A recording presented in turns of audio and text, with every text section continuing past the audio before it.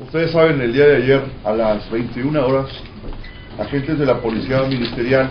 del Grupo de Antisecuestros lograron rescatar sano y salvo al doctor Irán Cota en la calle marcada con el número 2525, interior de la calle Jilguerillos de la colonia Hipódromo, burócratas en la delegación La Mesa. Gracias a un trabajo de inteligencia previo en coordinación con la Policía Estatal Preventiva, el grupo de antisecuestros logró ubicar al profesionista y detuvo a dos de los presuntos responsables, que responden a los nombres de Guillermo Aguilar Lujano y Gelman Cades Torrentera Loera, ambos de 22 años y originarios de la ciudad de Tijuana. Ambos tenían al galeano esposado de pies y manos antes de ser liberado por el grupo de antisecuestros de la Procuraduría General de Justicia del Estado. A las primeras indagatorias, estas personas son parte de una banda de secuestradores operada por personas que se encuentran en el reclusorio sur de la Ciudad de México.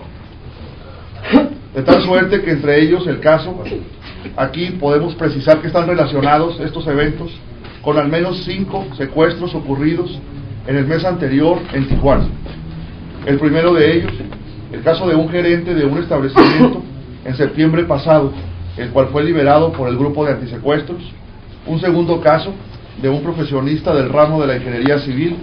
rescatado también por la Procuraduría General de Justicia el primero de mayo. En el operativo fueron decomisadas dos armas, un cuerno de chivo y una escuadra 9 milímetros. También, aunado a ello, se ha hecho el aseguramiento del inmueble correspondiente. Por último, quisiera hacer un agradecimiento público al personal de la Procuraduría General de la República obviamente a la Secretaría de Seguridad Pública Estatal y como dijimos en un principio al grupo de antisecuestros, pero particularmente